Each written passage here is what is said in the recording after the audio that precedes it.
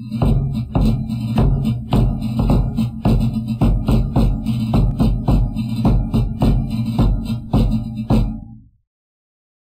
there, YouTube. This is Robert with Reading Through History coming at you with another episode of Civil War Talk. And of course, check out my hat. And, of course, I'm coming at you as always from the uh, farting couch. So if you hear any noises, it's the couch. It's not me. But I did have a slight change in background. Check out here. Got the latest addition to my collection. It's, well, you laddies, I got to me an Irish Brigade flag.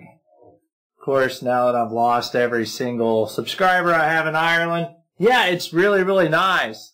I am, of course, a poor high school classroom history teacher, so I cannot afford you know, the Mort Kunstler paintings or the artwork of Don Troiani or the sabers and you know, revolvers and muskets and stuff that guys who have money can actually collect. I have to buy the little $3 flags off of uh, you know, off of Amazon. But uh, I guess you could consider this good news. When I was on there buying the Irish Brigade flag, I saw something.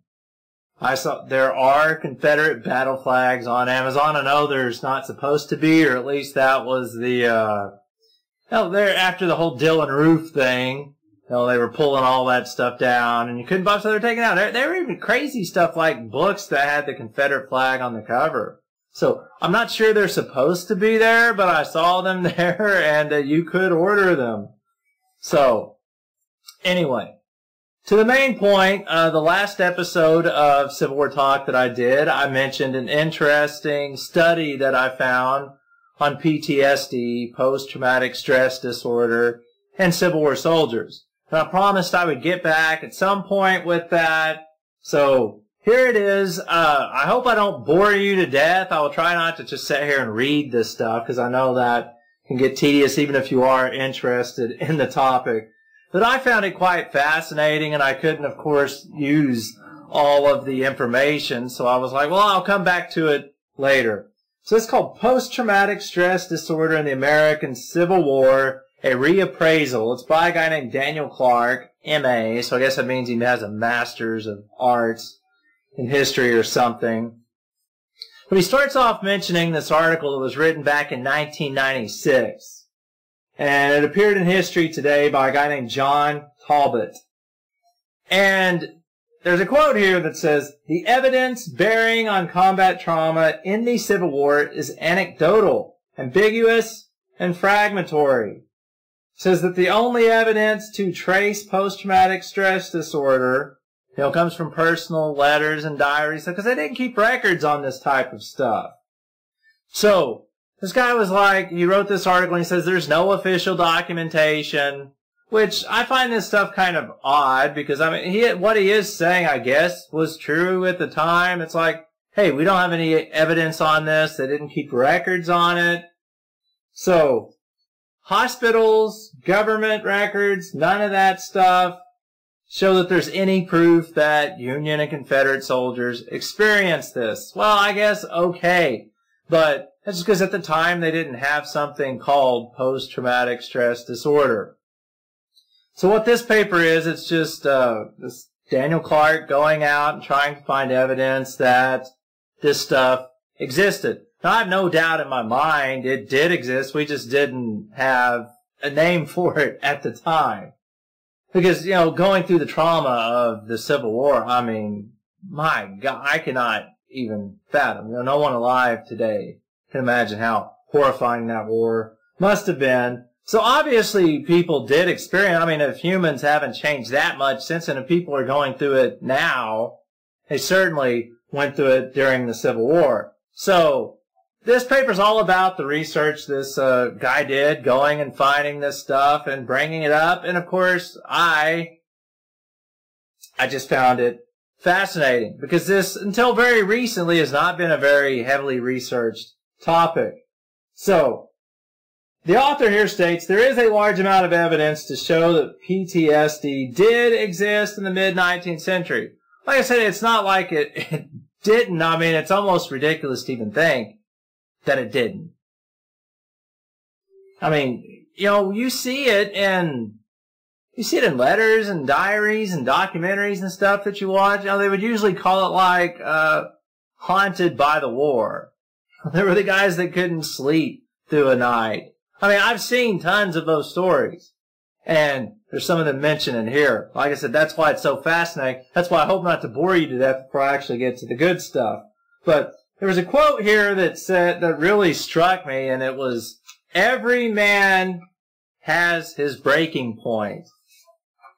Yeah, that sounds pretty sinister, doesn't it? Every man has his breaking point. So, we fast forward here, he's talking about research in the aftermath of the Second World War. You know, those men and women who went off and served in World War II and came back, and we call them our greatest generation. And that was like America's finest hour, you know, the 40s and the 50s. And all of our, you know, they were probably the best cared for group of veterans we ever had. As you see the horror stories with the VA and stuff today, you know, th- those guys, they were our heroes. We wanted to take care of them. And the medical, psychiatry, all this stuff, research, it was just blossoming and blooming and building. And that's where this phrase, every man has his breaking point, came from. And they were really starting to look into like the exposure to the horrors of battle. And it could cause even the most physically fit recruit. You could be 18, 19 years old in perfect physical condition. You could have all the machismo in the world. But every single one of those guys has a breaking point. Something can push them over the edge. And they called it mental implosions.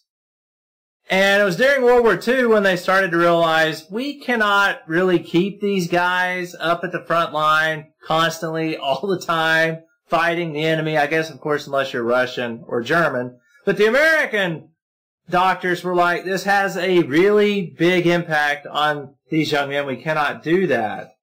And they started noting that getting away from the front lines, getting some rest mentally, not just physically, is like essential to the well-being of our soldiers.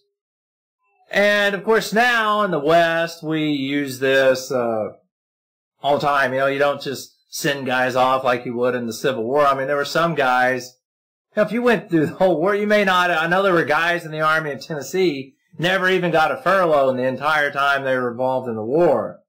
Uh, said that currently the British soldiers serving in Afghanistan, you know, they'll send them over there for six months at a time. But even during that six months that you're there, you're not always out in the dangerous Taliban territory. They rotate them in and out to uh, Camp Bastion. So imagine what it would be like serving for four years without ever getting a break. Now, obviously they weren't fighting all the time unless it's the last year of the war in Virginia. You know, that was pretty much constant every day with Grant attacking Lee nonstop. Cannot imagine the impact that must have had on the soldiers of both armies. But this paper, because I found it interesting because, you know, when I was thinking post-traumatic stress disorder, I'm like, yeah, the shell's going off know, seeing your buddy get his head lobbed off, you know, running someone through with the band, you know, knowing you killed some, that kind of stuff. They were just talking about the day to day trauma of living in camp life. You know, being so far away from home, not seeing your family. I mean, imagine having young wife and children and getting sent off down to Virginia to fight and seeing companion, just getting sick and suffering there in the camp. Like I said, even during the times you weren't fighting. So this mentioned the daily hardships and said most of these Civil War soldiers, most of them, and we were still a very rural society. If you lived out in a rural society, yeah, you probably grew up under your father's hard thumb. But you got to be an adult. You, there wasn't really any, you didn't deal with like government authority and people having that level of control over you, the officers in the military would, you had a big degree of independence. And you were probably very close to your family. You probably grew up with, you know, there were 12, 13 kids in a family back then. And you didn't have that strict discipline that you would see in that regimented life of the war. And of course, once you got sent away, you weren't seeing your family anymore other than just like intermediate contact with letters and stuff back and forth. So he mentioned this book. Uh, someone had actually done research on soldiers who committed suicide during the war, like while they were fighting. I guess you would be, you know, you go off to the latrine or something and kill yourself, or you're out on picket duty, and you would just kill yourself intentionally. It's called soldier suicides in the in America's Civil War. And this is a quote: "The rigors and boredom of camp life, intermingled with horrors of war and time, the nostalgia for home slowly took hold. Now this reminded me of a quote that I heard about playing poker once. Not that I want to compare fighting in the Civil War to playing poker, but they said, yeah, I read in a book one time when, I, when the poker craze was going on. Said poker, to be a poker player, you have to get used to hours and hours of boredom, followed by about 20 seconds of sheer terror. That's what life was like for a Civil War only, you know, soldier only it was weeks, maybe months and months of boredom, and then one day of sheer terror, you know, during the battle. Because, you know, you might fight five or six days of the year. It's probably 360 days a year of sitting in camp or just marching and drilling and training. That alone is going to cause massive amounts of depression. Of course, we know today depression can be a serious mental illness. I mean, when we see the numbers of people that take their own lives just from this massive amount of depression that we have. So even the act of marching, said marching could drive you crazy. I've read a lot just about the rhythmic, you know, marches and stuff like uh, the Army of Tennessee when they were on the uh, Nashville campaign. Just the marching, marching, marching, marching, and men would actually get to the point where they could like fall asleep while they were marching. Or you just look at the guy in front of you, either his uh, feet or his head, and you would just like go into this daze. Or you would just like be like, you weren't even conscious of what you're doing. I know I do that driving sometimes. And thank goodness we have a subconscious, right? You know, we would all be dead. No one would survive a car trip anywhere. It's not like driven through towns and stuff and don't even remember doing it, stopping at the stoplights or anything. But, talk about the act of marching causing trauma. And did say that military, still, you know, military surgeons during the Civil War did start recognizing this type of stuff. You do see evidence of it in their notes and their journals and talking about keeping the army hydrated. And the heat stroke. And I mentioned the heat stroke where soldiers would just collapse from the marching ranks and die from exhaustion. And that even just going through a collapse and almost dying or something like that had a serious impact on some of these guys who survived, you know, a minor case of a heat stroke. So in the most serious cases, they said some of these guys would go into like epileptic-like fits and sometimes even die.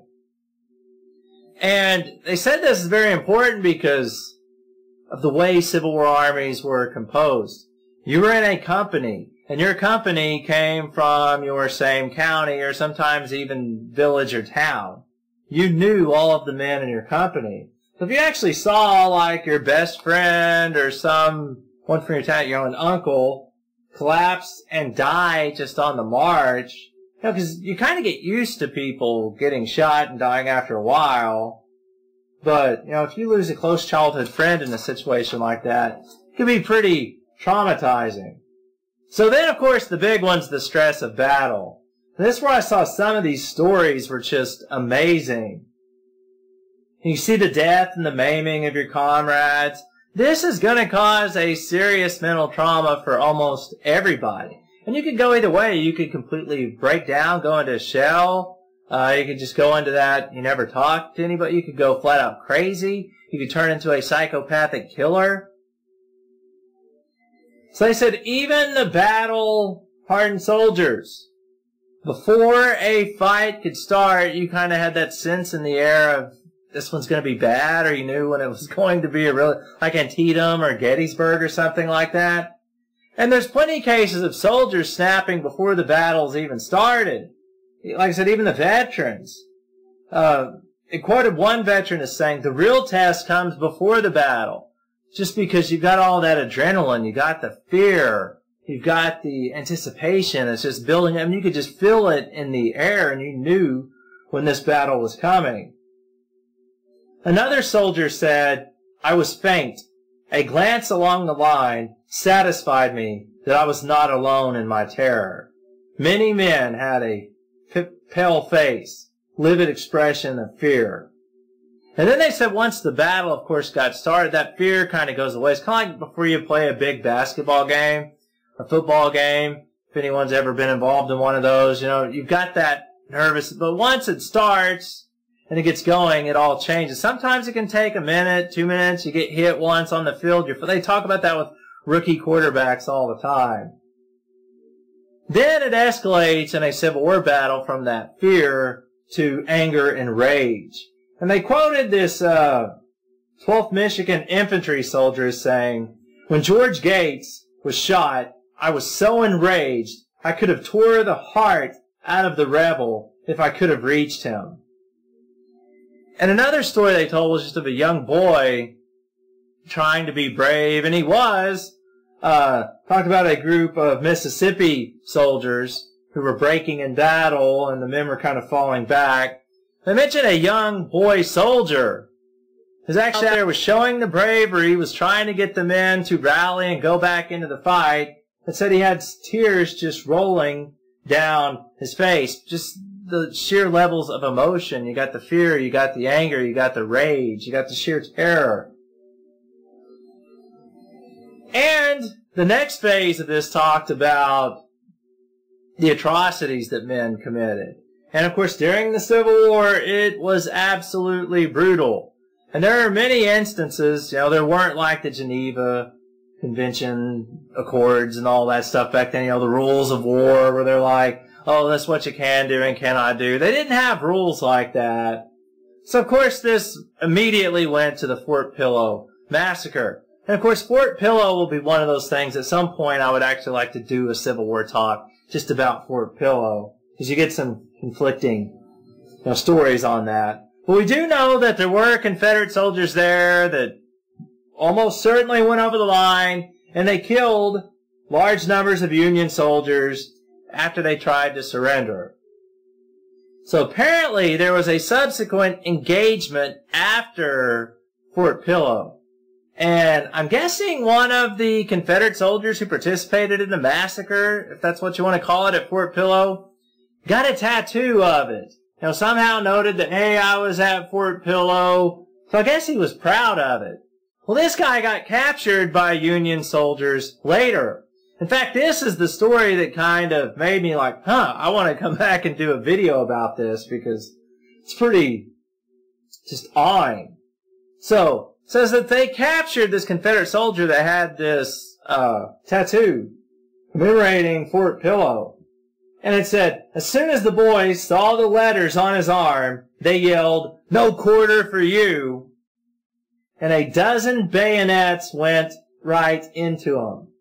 Now the guy who noted this said, I shall never forget his look of fear. I can imagine. That's about as bad of a way to die because, you know, a bayonet, it's like a two or three foot long, essentially knife that you stick on the end of a musket can you imagine being banned just with one, but much less 12 of them?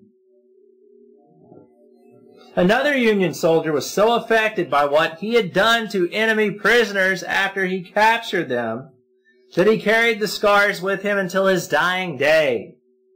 Said for the rest of this guy's life, even when the war was over and he went back home, wherever he was from up there in Yankee land, that he was scared to death that the Confederates were trying to kill him. That the Confederates were sent these spies up north to hunt him down and kill him. So it said this guy would take his gun, he would take his blanket, and he would go hide out in the woods for days and days at a time. That this like became normal routine for him, that he didn't feel safe at home, that these guys were going to come and kill him. And he was like, I've got to escape them, I've got to escape them. And he would go out and essentially just hide out in the woods. And then, of course, prison life. The Civil War is one of those wars where if you actually got captured by the enemy and they sent you off to a prisoner of war camp, you were probably less likely to survive than you were if you were actually out in the field fighting people because you're locked and confined in one area. Just the conditions living there and the diseases and such were rampant. But then the boredom. And all of these places were ill-equipped. I mean, you know, the, the Confederate prisons, they get all the, uh, oh, what's the word I'm looking for? They get all the bad press in places like Andersonville, which was by far the worst the entire war. But even the ones up north, I mean, they were always squalid, ill-equipped, and you were just stuck there. Thousands and thousands and thousands of guys confined in one area for a very long period of time. Rain, snow, sleet, and hell. The latrine there, I mean, the diseases just, oh. If you were stuck in one of these military prisons, it was very stressful. And you had no idea how long you were going to be there, especially after Grant stopped trading prisoners like if you were a Yankee prisoner in 1864 after Grant took it, you were just stuck. You know, good luck surviving Andersonville. But I mean, uh, yeah, Libby, Elmira, Point Lookout, all these places. There's just horrible stories coming out of these places. So, all of these people who noted, you know, took note of their experiences in a prisoner of war camp mentioned time and how slowly time moved. Now, if you think time moves slowly in sixth or seventh hour history class at the end of the day when you just want to go home, imagine being in a prisoner of war camp for over a year or even, oh, six months or a month. It'd be horrible. So to pass time, you did whatever you could. You would sit there and you would tell stories. You would reread every single newspaper you had. Just reread it over and over again. Every letter that you had from loved ones. Just go over it time and time again. And it talks about people in these prisons literally going insane. I mean, I can only imagine how frequent this must have been. And talked about how they were just the ones who still had some of their mental faculties about them because everyone handles these types of situations differently. You've got some soldiers though who completely snap and they just, they want it over with. They actually just get up and they walk out to, you know, all of these places. They had the walls around the prisons. But then they had the no-go zone, like the kill zone. It was like these markers that you would not go past them or you would be shot because they didn't want any people approaching or rushing the walls. So they called it the deadline. So some people would just decide I can't take it anymore and they would stroll out there just to get shot and hope they would die. But then others would just start meandering around. They didn't have their senses about them. And they don't even know that they're going into an area where they're not because your, your mind is just shot. So tons of mental problems that it talked about. And here there's an admission to the Indiana Hospital for the Insane.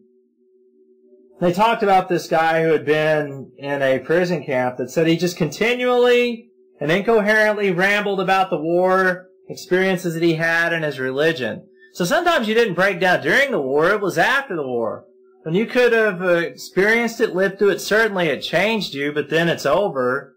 You finally get sent home sometimes it can be years before this stuff really starts catching up and haunting you and tormenting you. I mean, I know I just experienced nothing this traumatic, but there's stuff that happened in my childhood that still deeply troubles me and bothers me. And it was nowhere near this. And we're talking like simple things like dropping a bowl of spaghetti or something like that. And, you know, your brother like. And your mom's like, oh, and you're just like, oh, because you feel like, oh, I ruined the family meal. You know, I can still remember that, and it's nothing compared to what these guys went through. So, next thing that I had highlighted here, 1300 years before the Civil War, the ancient Greeks, they did recognize mental illness. You know, they took note of it. They you know, I can imagine the Doctor Hippocrates and those guys. They were aware of this stuff. And at the time of the Civil War, they basically had three different kinds of mental illness that was recognized. And the first one was mania. That's where the word maniac would come from. It's described these people as being agitated and anxious. Their symptoms not attributed to a physical illness. So, like you could get a disease like yellow fever or malaria, and if you started losing some of your mental faculties after that, they wouldn't categorize you as a maniac. A maniac was someone that it was completely, it was just a mental, mental issue. Then there was dementia.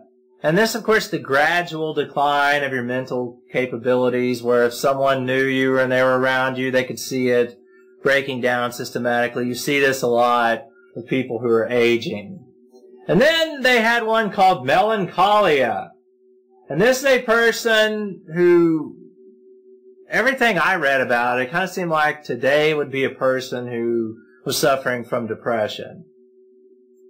So, officially at the time of the Civil War, and this is where it kind of starts getting interesting because you can compare this to World War II. I said, I hope I'm not boring people because I found this very interesting. Uh, doctors were somewhat trained and told at the time of the Civil War to recognize mental illness. And early in the war, they of course watched for this way closer than they did later in the war. Early in the war, when Lincoln said 30,000 and everyone thought this was going to be over in three months, yeah, they looked at recruit, recruits pretty tough. They actually sent guys home. And the no's are, we don't need you, or you're, you're not qualified. But of course, as the war went on, and it just got worse and worse and deadlier and deadlier, and the death toll was up in the hundreds of thousands. Uh, you were having the draft riots. You know, there were literally people trying to avoid even getting drafted. Uh, they started kind of overlooking a lot of this stuff. So early, they might overlook you. Uh, if you had some sort of mental breakdown, they might discharge you.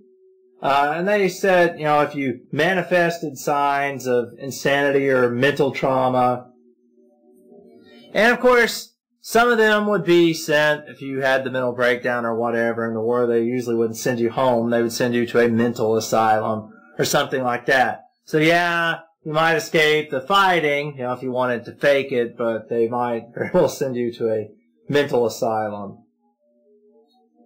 But talked about here. Uh, if evidence was heard, because this is what they would do, you know, if you, uh, they thought you had like a mental issue or something. Like I said, they did recognize this stuff. Uh, they would bring up three doctors who would basically look at you. Uh, your fellow soldiers, your friends would come in and they would testify on your behalf.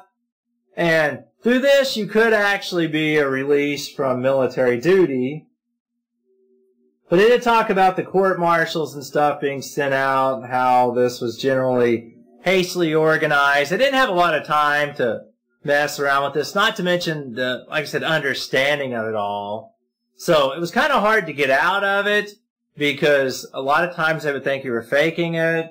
A lot of times they would, like I said, if you really did mental breakdown or something, you were going to an insane asylum. There really wasn't a lot of thin line between, oh, he's in such bad shape that he can't be in the he can't be in the army, but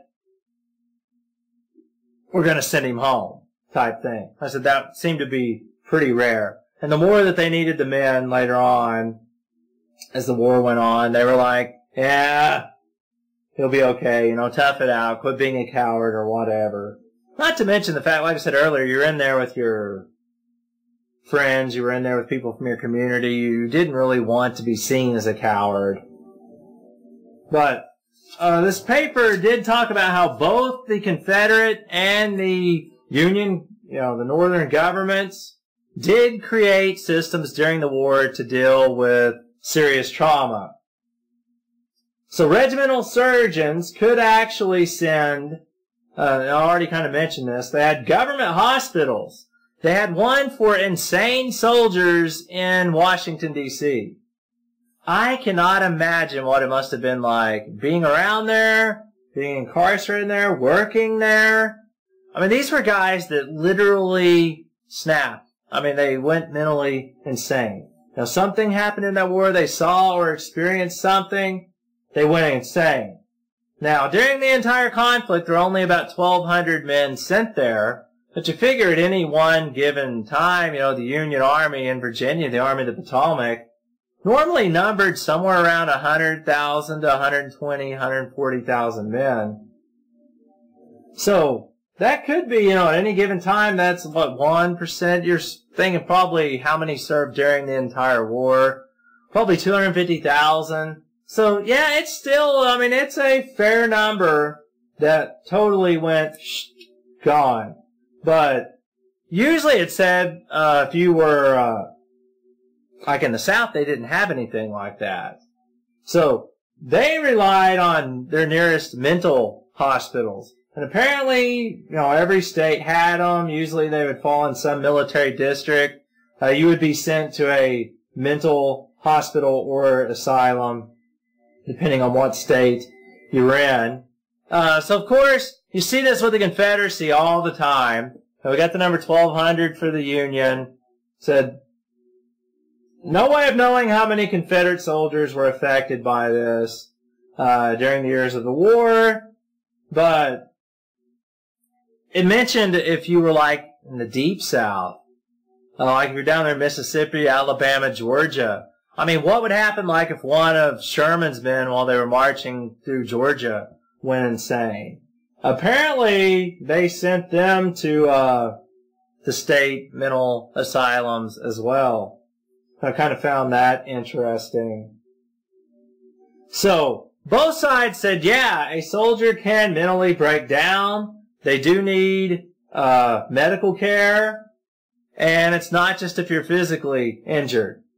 So it mentioned here President Abraham Lincoln's Surgeon General. Uh, he actually had notes about this, and he wrote a book called The Medical and Surgical History of the War of the Rebellion. So he goes on to say, by the way, his name was Dr. William A. Hammond. He does actually mention PTSD in this book, but they called it nostalgia. Like I said, I started this off saying because I find it kind of weird saying, oh, there's no evidence of PTSD, not just because they didn't call it PTSD. You have to dig deeper. I mean, it was there, it is there, and Lincoln's Surgeon General mentioned it. Uh, he called it nostalgia. In other places, you see it referred to as the soldier's heart. And they, by the way, these are terms I had heard before, particularly soldier's heart. Irritable heart syndrome. And of course, even in more recent years, there's the DaCosta's syndrome. It's actually named after Dr. Jacob Mendes de Costa, who discovered it during the Civil War. So it's like four or five different references there of things that could today qualify as PTSD. And of course, they put these into the different categories of insanity. So, hospital records, they do exist from this era where they're saying, yeah, this person suffered from nostalgia. And today, as I said, that's kind of what you could refer to as PTSD. Uh, there's others that are mania. They said this guy is suffering from mania. A lot of those guys it was PTSD. And of course, there's the melancholia. So, there was a system of guidelines. Now, I kind of mentioned this earlier. Doctors were somewhat told to look out for this. They did have some standards. Uh, but by and large, as I said, they needed the soldiers. This was widely overlooked during the war. Now, I mentioned World War II. World War II is kind of like the opposite. Now we needed way more men, larger armies, of course, larger populations in World War II. We know the scale of World War II. Not only that, the United States was fighting a two-front war. We're fighting the Germans and we're fighting the Japanese.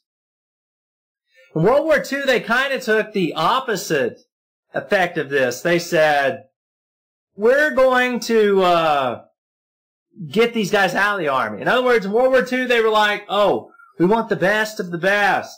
We want to maximize their efficiency. So he put it this way. They cut loose what they called the ineffectives.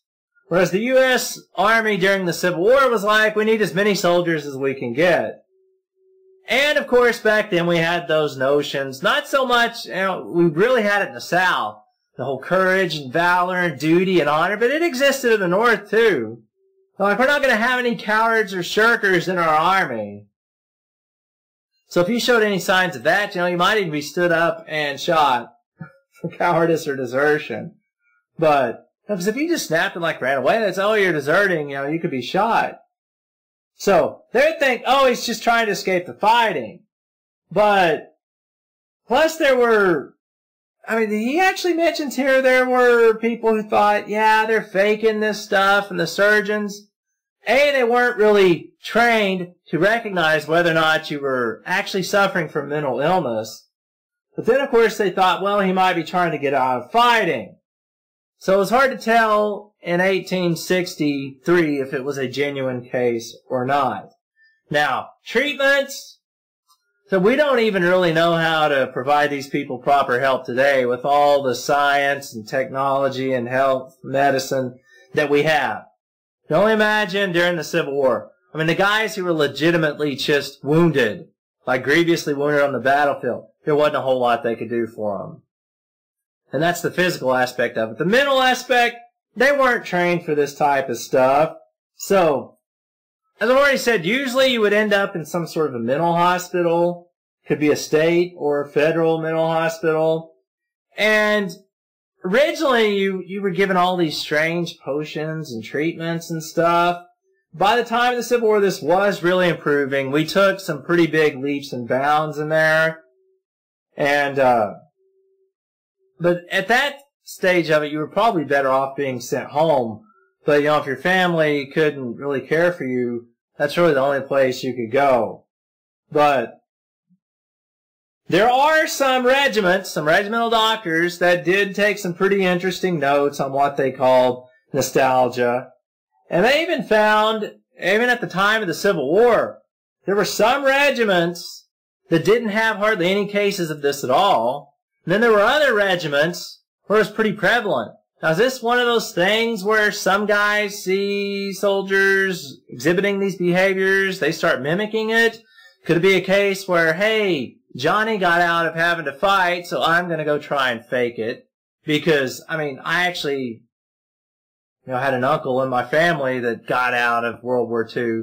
Not necessarily proud of it, but, you know, he actually, like, picked up a, you know, he faked being crazy you know, picked up a uh, stick and rode it around like it was a horse making noises. They're like, this guy is crazy. And I said during World War II, they were weeding those guys out. There were cases of guys who faked it. So during the Civil War, obviously, you know, we had to stand in the middle of a field and fire at the enemy. There were people who probably tried to get out of it that way. So if someone saw one of their comrades get out of having a fight. Yeah, I guess they could have faked it, tried to get out. Uh, so I don't really know what that could be. This paper kind of attributed it to morale and leadership. Like if this unit had really high morale, if this unit had really charismatic leaders, good leadership that took care of and cared for the men, they had very few cases of this. Some regiments, like I said, none at all. But then the more I thought about it, I'm like, well, maybe that regimental doctor just wouldn't ever say, yeah, it's a case of nostalgia and let someone out of it. Could be a mixture of all of these things. Uh, but apparently the regiments where they had the occupation of the mind, you know, this is a quote here, occupation of the mind was the tonic that relieved morbid preoccupations. I love how they called it mor- morbid preoccupations. But what's interesting, I said now we have more research available on this than ever before, obviously. It's getting better. We're starting to understand it. They actually went and examined units from the 2003 Second Persian Gulf War in Iraq. You know, soldiers that were there from 2003 to 2008. They found very similar results. There were some units where there were a lot of cases of PTSD. There were other units where there were almost none at all. I found that interesting. How people just kind of, I said, I, I would like to know, is it people see their comrades exhibiting it, they start mimicking it, maybe not knowing? Uh, could it be, I dare say there could be some people like, oh, this is a way to get some kind of attention. I don't know. Could it be like, we just had better morale. We had a, we had a better time there. You know, the unit, obviously units that suffered more, I think would be more prone to it. Because, you know, there were units over there never even had a shot taken at them probably. Because you see that in wars all the time. Uh, you know, as a combat unit, I would think they would be more prone to suffer from that. Okay, after the war, and when the dust had finally settled, thousands of veterans were out there. A lot of them, you know, 100,000 or more wounded. Uh, some of them grievously wounded, but then there's the mental injuries as well. So if you were a Union veteran, you at least got some help from the government. Some, like I said, it wasn't great, but you got a pension. If you were a Confederate, there of course was no federal government pension. Some states eventually got around to giving them some money, but it was just a fraction of what the uh, Union veterans got. But if you had psychological trauma, now what would the government do for you? What would the government, what would your state do for you? Now, first it was just, you had to rely on your families. And of course, if you had to take care of a husband, a father, a brother, this was very hard, very time consuming, because during this era, particularly out in the rural areas, you know, you had to rely on the men's labor to survive. It was like essential. So if you had someone that was very distressed, was suffering from some sort of mental illness, uh, and I wonder if this like helped the prohibition movement any at all. Because it talked about there wasn't a lot of stuff for men to go to because they didn't have the medications and stuff back then. Talk about a lot of these guys turned to very copious amounts of alcohol. And of course this, some people, I mean, I'm sure everyone watching this has probably seen someone at some point in their life they get drunk, they get like aggressively violent. I mean, just like crazy. More aggressive toward their carers and their neighbors. And of course, this would lead to more and more domestic abuse. Now I tried to do a little bit of independent search out here on my own on the side. Did cases of domestic abuse go up in the late 1860s and the 1870s? Unfortunately, I ran into the wall that I feared I would. Not really any records on it that I could find. But I did see that during the 1870s, courts in the United States of America started in droves ruling against abuse by the husband against the wife. Because you know, back in colonial America, they're all, oh, you could beat a beat your wife with a stick as long as it wasn't bigger round than her thumb. I remember learning that in my colonial America, an American Revolution class. So it did say that during the 1870s, courts did across the country really start ruling against husbands who physically abused their wives. And they were trying to keep women from being subjected to that kind of violence. Now, does that have anything to do with cases of it going up due to the Civil War? I don't know. I also saw that in Britain, uh, the same thing was going on there. So there is that whole where we kind of correlate with Britain, you know, whatever movements are going on in Britain, kind of pass over here, and whatever's going on over here, pass over there, I like, know, women's suffrage movement and things like that. So, I don't know. I really don't know, but talked about cases of assault and murders where Civil War veterans would get drunk uh, would get in this depression. They would get drunk. They would go into a rage. They would abuse their spouse. They would assault someone. And in some cases, they even murdered somebody. So, aye, aye. So, and of course the strange and peculiar behaviors. Talked about countless veterans not being able to sleep at night. I said that doesn't surprise me. Uh, severe cases of anxiety, uh, nervous injury. Talked about another guy, William H. Julie, who would wake up in the middle of the night, randomly, just like, he's like, oh, the Confederates are here. The Confederates are coming for me. This guy would grab a hatchet and a revolver. And he would go out and he would start walking around his house. He would stroll out into his yard. He would go out and he would start walking around the community. This guy was hunting for Confederate agents that he thought were there to kill him. So apparently this just got worse and worse, and eventually the sheriff was called in, and the sheriff would have to restrain him and take the hatchet and the gun away. Apparently he had one of these episodes that was pretty bad, and he threatened to shoot one of his neighbors with his gun. Because I'm like, how could someone do this even once and they give his gun and hatchet back? But apparently he finally like threatened one of his neighbors and the sheriff had to overpower him, take his gun, and restrain him with a rope. Who in the world would want to be a cop? Who in the world would want to be a sheriff? I cannot imagine, because you have to deal with that kind of stuff. So, eventually they start throwing these people in these mental hospitals. And as the decades pass, after the Civil War, more and more of these guys start ending up in there. And they're overwhelming these smaller asylum systems. Because, you know, like a county might have one asylum center. And as the years pass, these places just get filled up with these uh, Civil War veterans. So th- this did have some numbers. In 1861, there were 8,500 patients committed to these types of hospitals throughout the entire country. So there were 8,500. By the time the war was over, it was 17,000. And then the next decade it doubled. And then the next day, decade it doubled again. And then the decade after that, it doubled again. And these places were just filling up with these Civil War veterans. And it talked about how you could be put in there for a very short period of times. Apparently, a lot of these places had policies they wouldn't keep you more than like four months. So your family would have to send you there. You would get some kind of treatment, probably not the best in the world, but then you would have to uh, come back. And once your condition would slightly improve, they would say, oh, he's better, and they would send him back home.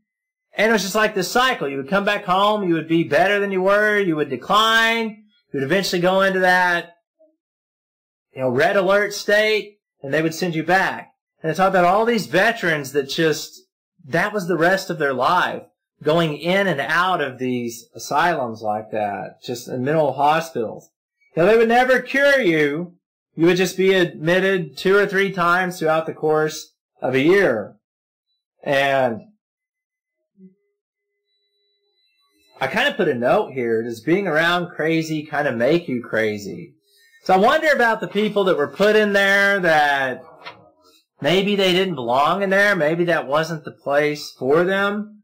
Because, you know, I, I don't want to come across as make, you know, have, making any fun of some of these examples of stuff I've seen, so I'm not going to mimic any of them, but you know, the types of behaviors that people in these places would exhibit.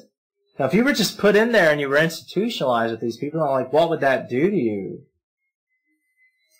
So, it did talk about how care got better. Uh, they started working on what they called therapy, where they were like, hey, we're going to try and uh, help these people. And usually it just boiled down to giving them activities to do, something to keep them busy. Be it cooking, be it cleaning, uh, designing, rehearsing, performing theatrical performances. They said they would have these people design their own plays, make their own uniforms, go out and perform them.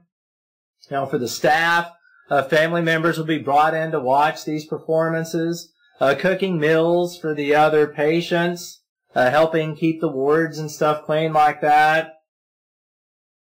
So the uh, pension system, it talked about that. Uh, talked about how gradually more was done for people with mental trauma, uh, family and friends to get you this type of help from the government. Because it talked about the United States government. At first, it was just you had to have like a physical ailment, a physical injury from the war, but they eventually opened it up to mental issues as well. And you'd have to be interviewed. Your family would have to sign affidavits. Friends could fill them out as well. You'd be interviewed by a panel of doctors. And they, you could get up to $72 a month, which I imagine the late 1800s. Even some of these guys might have been alive, you know, and receiving this in the early 1900s. That's a pretty fair amount of money. Uh, the first year of the war, they already had 4,300 U.S. veterans receiving this pension, like from taking a serious injury, the Battle of Bull Run or something like that, Wilson's Creek, getting shot up. There's like 4,300 guys receiving this pension already. Prepare yourselves. 1902, the number of people that had received that pension surpassed 1 million. So what was it like 2.75 million soldiers uh, in the Civil War? Thinking the Union Army, was somewhere around one and a half, two million. The Confederates, it was like 800,000. So, this would only be the Union veteran, one million veterans receiving that pension. Now, if you were a Confederate, it's kind of up to your family to take care of you give you some kind of care and treatment, or you would get sent to the state. Okay. Eventually, they come up with the uh, state pension system, but the Confederates, there was, if it was a mental, mental suffering, didn't qualify. Uh, it was only for physical, uh, physical ailments.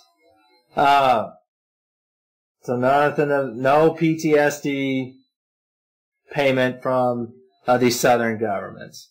So, talked about soldiers' homes. I kind of mentioned that in the last video. Uh, but to be put in a soldier's home, you had to prove that you could not support yourself, that your family could not support or house you, and that you had no one at all that could help you. This is again in the South.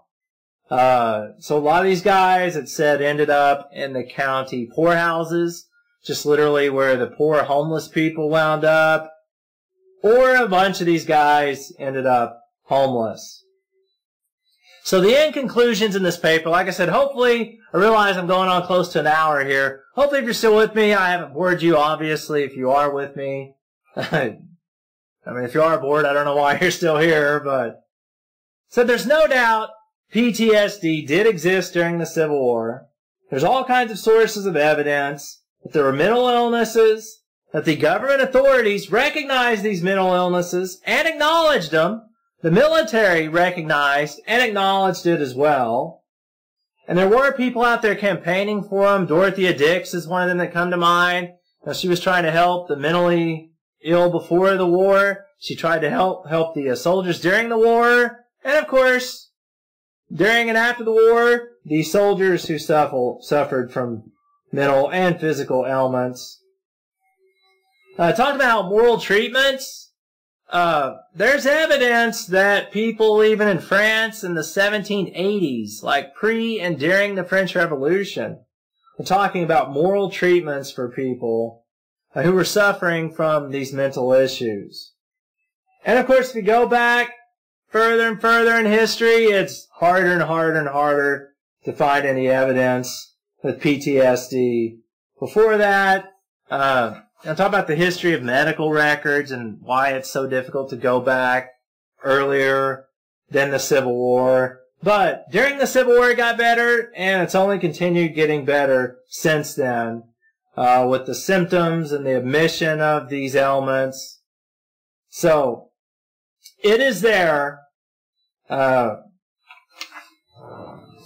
so I just thought I would share that with you if you wanted to uh, view it, listen, watch, enjoy it. I found it, like I said, fascinating, so hopefully it didn't come across as too boring. I try not to just sit there and read, read, read, read, read. But, as I said, I, it was kind of new to me. It was a topic I had you know, thought about kind of on the side, like, man, how would that affect you if you saw these battles and you're, but I was thinking just like, you know, living with the nightmares and stuff like that. Think about it, you know, just completely breaking a person down mentally like that. So I can only imagine what the scope of the war, the number of men that fought in it, the stuff that they witnessed, the trauma that they went through, what that would do to a person. Uh, so you just got to sit there and hope that the country never has to go through something like that again. But there's definitely no doubt PTSD was a real thing during the Civil War and people did suffer from it. So I will just cut it off there. If you like this, uh, if you like this, please like, comment down below. If you'd like to participate in future Civil War talks, I'd like to have panels where we just kind of sit there and talk about various things. I'm still planning on doing McClellan and Grant in Virginia next, even if I have to do it alone. I will because, you know, I've asked people about it, got some interesting you know, points pointed out, plus stuff that I myself have considered throughout the years. So I'll just kind of leave it at that. And uh, if you haven't subscribed and you want to see more Civil War talks, definitely do that. And I'll catch you next time, probably with an episode about McClellan and Grant in Virginia. So until next time, I'm Robert, reading through history.